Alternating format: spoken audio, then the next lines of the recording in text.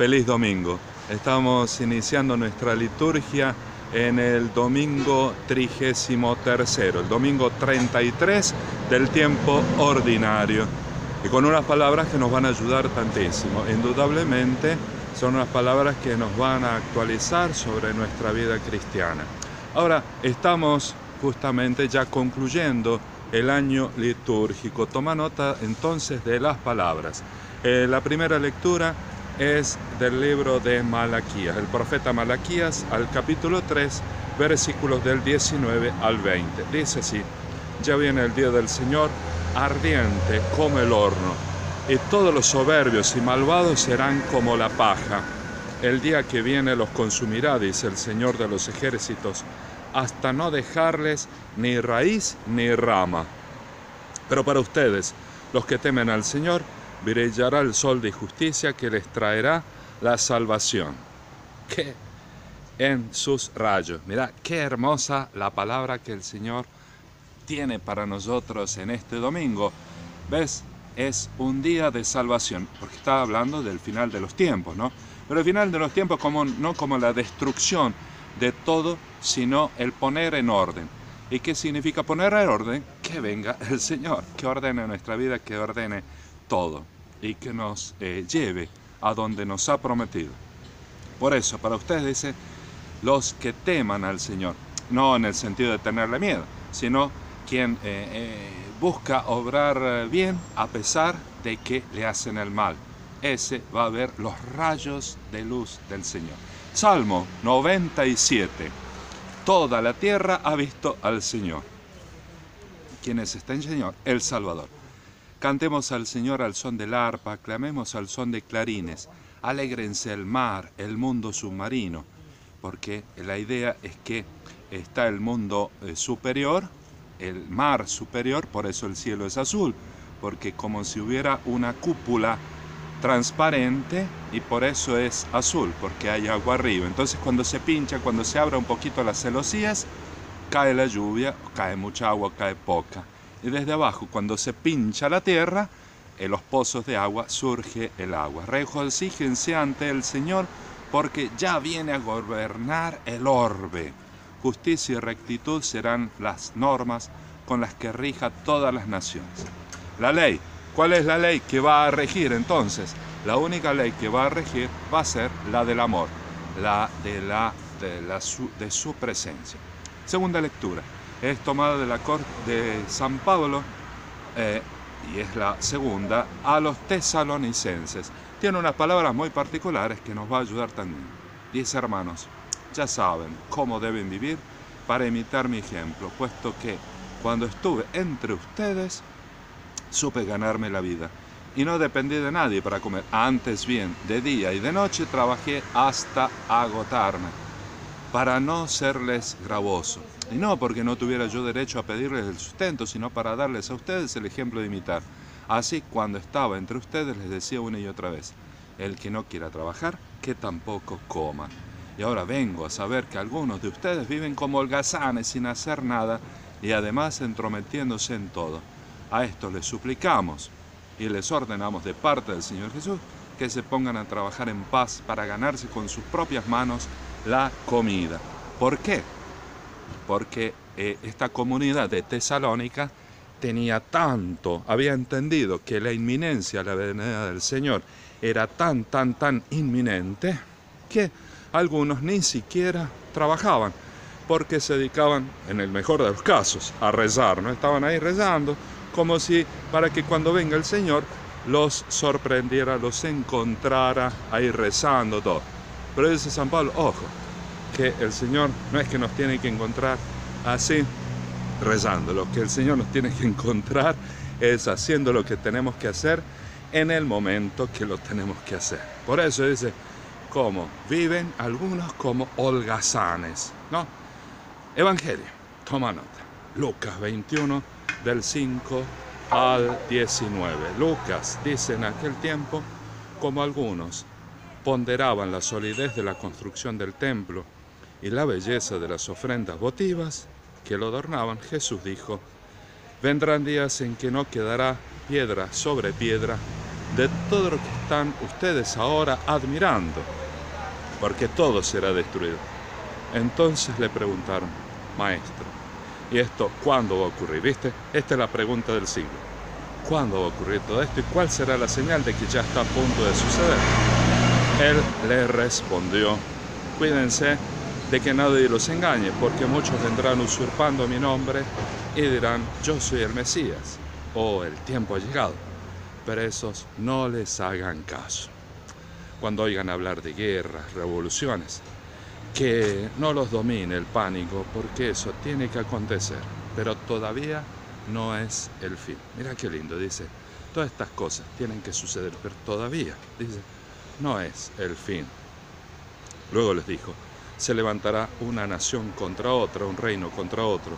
En diferentes lugares habrán grandes terremotos, epidemias, hambre. Aparecerán en el cielo grandes señales prodigiosas y terribles. Pero antes de todo esto, los perseguirán a ustedes, los apresarán, los llevarán a los tribunales, a la cárcel, los harán comparecer ante los reyes y gobernadores a causa mía.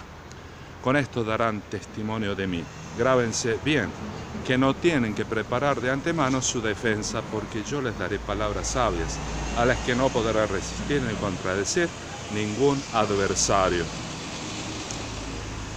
Los traicionarán hasta sus propios padres, hermanos, parientes, amigos. Matarán a algunos de ustedes y todos los odiarán a causa mía. Sin embargo, no caerá ningún cabello de mi cabeza, dice el Señor, si ustedes se mantienen firmes y conseguirán la vida. Palabra del Señor. Bueno, estas son las palabras que justamente el Señor nos está dirigiendo para este domingo. Fíjate vos que, como lo decía al inicio, son unas palabras de tal importancia que nos van llamando a vivir en la espera del Señor. Pero esta espera del Señor no tiene que ser una espera eh, con el miedo, como decir, bueno, van a destruir, se van, nos va a caer todo por la cabeza, sino que justamente lo que va a suceder es el encuentro con el Señor. Es el Señor que viene a nosotros. Entonces tenemos que estar tenemos que estar preparados. Entremos en esta palabra. El templo de Jerusalén eh, se veía muy bien desde el Monte de los Olivos, porque era una parte más elevada. Y desde ahí se veía eh, justamente la suntuosidad de este templo. Era un templo que había construido Herodes y había tardado 40 años. ¿eh? Y, en este templo tenía esta, esta parte construida ya sea eh, donde estaba la parte más importante, que es el Santo de los Santos, que es la parte del santuario. Es decir, dentro del templo de Jerusalén inmenso, habían diferentes partes. Estaba la parte del santuario, que es donde estaba el Santo de los Santos, donde em, entraba solo el sumo sacerdote, donde estaba la menorá, donde estaba la presencia del Señor. Ahí solo se podía encender este candelabro de siete brazos, ¿no? Y delante estaba el sector de los hombres, el sector después venía de las mujeres, de los niños, y también estaban abajo de estos pórticos unas 40 columnas que sostenían una estructura de más o menos unos 180 metros de largo por 40 de ancho. Imagínate, esto que era el pórtico, llamado eh, que es donde eh, se hacía el mercado, donde estaban los cambiamonedas, donde estaban la venta de animales, porque muchos iban a hacer los sacrificios, pero justamente no tenían los animales para realizar eh, los sacrificios. De esta manera es que entonces ellos desde ahí compraban ¿no? los animales para poderlos ofrecer. ¿Qué es lo que sucede? Jesús está mirando desde arriba desde el Getsemaní, desde el Monte de los Olivos, perdón, está mirando y ve cómo tanto se enorgullecen de este templo. Al que Jesús dice, bueno, ven este templo. Eh, algunos admiran esa, la parte arquitectónica de esto, que era fabuloso, por cierto. Pero dice el Señor, de esto no quedará piedra sobre piedra, porque todo esto será destruido. Pero dice, yo lo voy a reconstruir. Es decir, le va a dar el lugar el verdadero lugar de la adoración de Dios, que es en el propio corazón. Pero para poderlo hacer esto, lo tiene que hacer el Mesías. Está hablando prácticamente del pasaje de un Antiguo Testamento a un Nuevo Testamento, de una ley antigua al cumplimiento de la ley nueva. Pero para esto tienen que cambiar varias cosas. Tienen que cambiar varias cosas, decía tanto ruido acá y como no podía ser de otra manera, también la ambulancia. Entonces, en esta vida religiosa, lo que Jesús les está diciendo, bueno, vean, esto, esto no es lo importante. Lo importante no es que esta construcción, lo importante es que nosotros preparemos el lugar de la adoración. Pero para eso, dice, ustedes van a tener que ser perseguidos.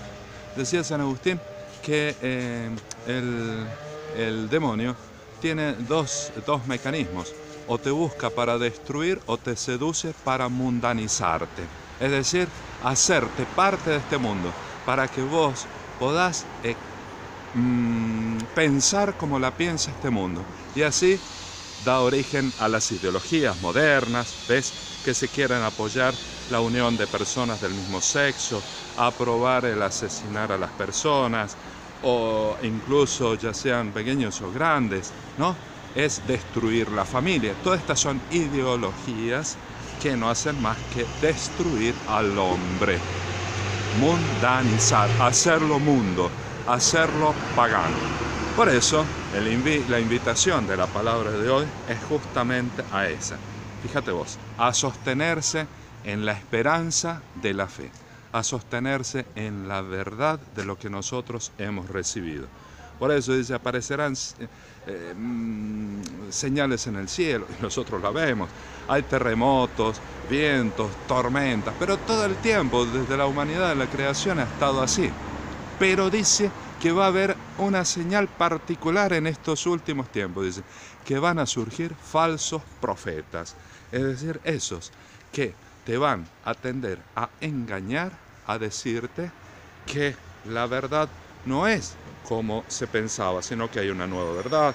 Hacer a veces de la iglesia, de la doctrina de la iglesia, aguada, como diluida, diluida en un conformismo, diluida en una mediocridad. Por eso San Pablo nos invita, si vos estás siendo perseguida, perseguido, si vos estás sufriendo, a veces la opresión de las personas que se creen buenas, que piensan estar ayudándote. Dice el Señor, guarda, que los que te van, los que te van a perseguir, son esos mismos de la casa, son esos mismos que tenés alrededor, son esos mismos que dicen que te quieren y al final a veces van a ser esos los que te van a oprimir. Ánimo, no perdas la fuerza porque el Señor está contigo, porque vos y yo estamos llamados a anunciar este nuevo reino, un reino capaz de amar a los que nos hacen sufrir. No perdas la esperanza. Ese es el sentido de nuestra vida. Nuestra vida tiene sentido no tanto por eh, la construcción material, como lo decía la palabra, no tanto por este enriquecerse, buscar los bienes, sino buscar los bienes del cielo, que son la bondad, la felicidad, eh, la comprensión, son los bienes de vivir en la gracia de Dios. Qué lindo, el domingo nos está preparando para este fin del año litúrgico, como si fuera el fin de nuestra historia, el fin de la vida. No te canses de hacer el bien. Estás siendo perseguido. Ánimo, coraje, fuerza. Está, parece que todo es un fracaso, parece que nada tiene sentido. Ánimo, porque ahí está la palabra que te está ayudando a crecer en la verdad. Feliz domingo. Acordate que nuestra última palabra, el cielo, es nuestra última paradita. Hasta el cielo no paramos. La paz. Aleluya.